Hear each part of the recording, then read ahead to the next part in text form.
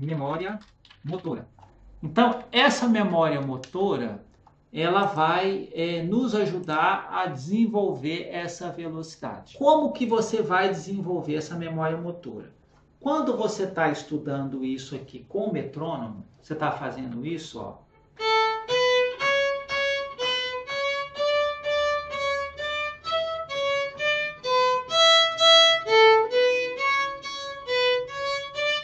Quando você está fazendo isso e você está estudando com o metrônomo, é estudar mais devagar, né, pessoal? Eu toquei muito rápido. Mas aí você vai é, treinando a sincronização do arco junto com os dedos. Não é isso? Não é isso que está fazendo agora, ó?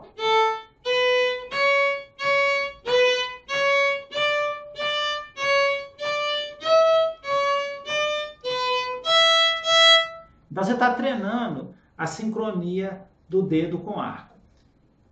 Você aqui está é, tá gravando na sua memória a música e aonde os dedos estão naquela parte da música. E você vai criar uma memória motora disso. Quanto mais você repetir, mais você grava.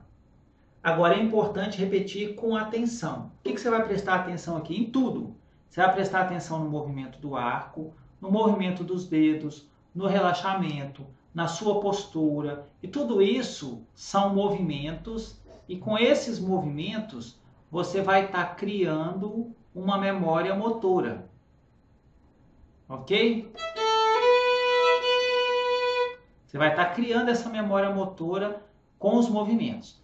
Se você estiver prestando atenção em todos esses movimentos, você vai conseguir gravar na mente uma série de movimentos. E o estudo é para isso, é para desenvolver a sua memória motora.